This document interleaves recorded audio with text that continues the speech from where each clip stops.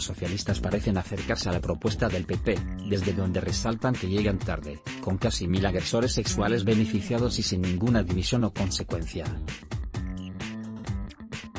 Finalmente el PSOE parece decidido a aceptar la propuesta del Partido Popular para reformar de una vez por todas la desastrosa ley del solo sí es sí de Irene Montero. Así lo ha dado a entender en una rueda de prensa del Congreso la portavoz adjunta de los socialistas, Isaura Leal, asegurando que ha explicado que su partido no excluye, ni prefiere a nadie para lograr sacar adelante su propuesta. Por lo tanto, todo apunta a que esa reforma podría salir adelante el próximo jueves. En cuanto a las propuestas de otros partidos para enmendar la reforma socialista, Leal ha reconocido que tienen voluntad y buena fe de mejorar el texto. Pero cree que las propuestas de penas que plantean otros grupos parlamentarios, el caso de Unidas Podemos, no resuelven los problemas surgidos en la aplicación de la norma.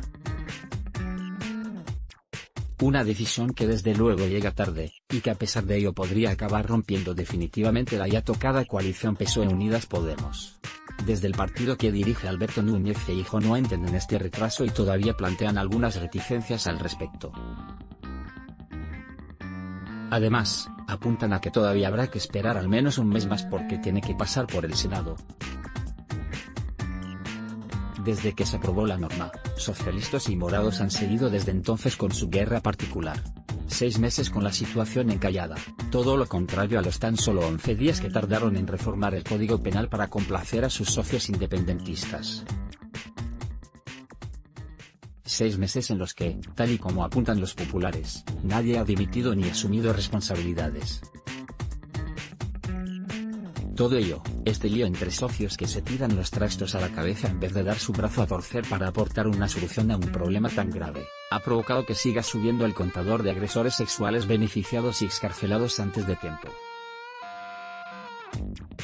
Según publica el diario ABC, fuentes del Consejo General del Poder Judicial consultadas por este medio afirman que la cantidad oficial de estos delincuentes sexuales cuyas penas se han visto reducidas gracias a la ley de Irene Montero y compañía es de 860.